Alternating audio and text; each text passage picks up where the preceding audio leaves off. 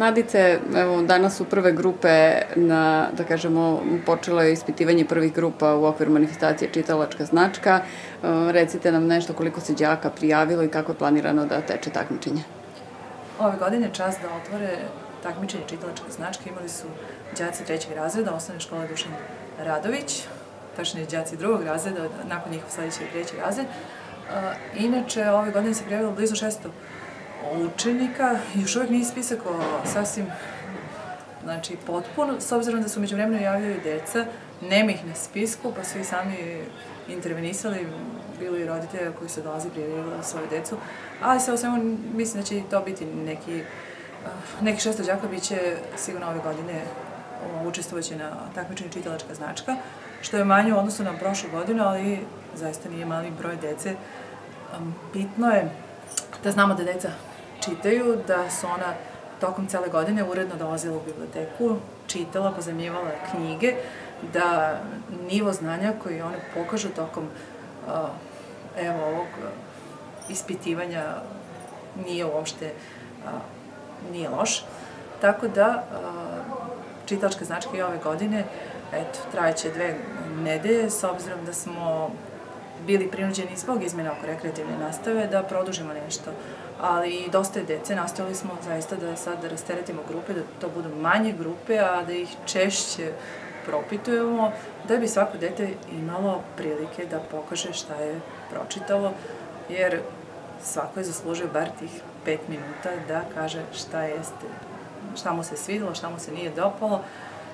Deca su što se toga tiče vrlo interesantne sa svojim komentarima, pa eto imamo i uh, komentar da, bar onako koliko sam ja u kontaktu s njima bila, da u četvrtom razredu Petar Panin je dosadan, ali bi mogli recimo da ubacimo dnevnik Ane Frank.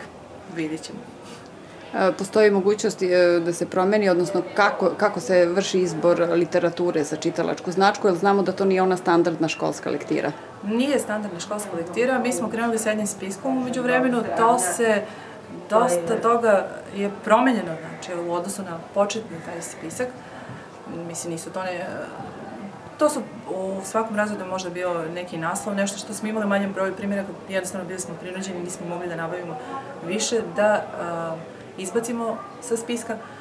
U četvrtom smo ubacili apsolutni hit Matildu, Roald Dahl, jer im je jahanje na kurijeku bilo dosadno.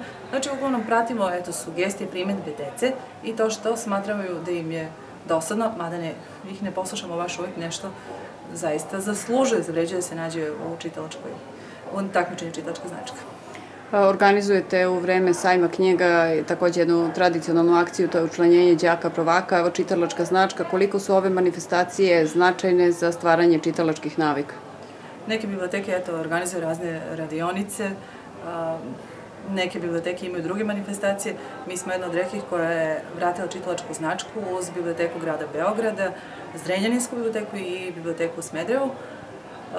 Neophodno je razmišljati u tom smislu da zaista mora postojati neka aktivnost, neka manifestacija, program koji će eto, privući decu.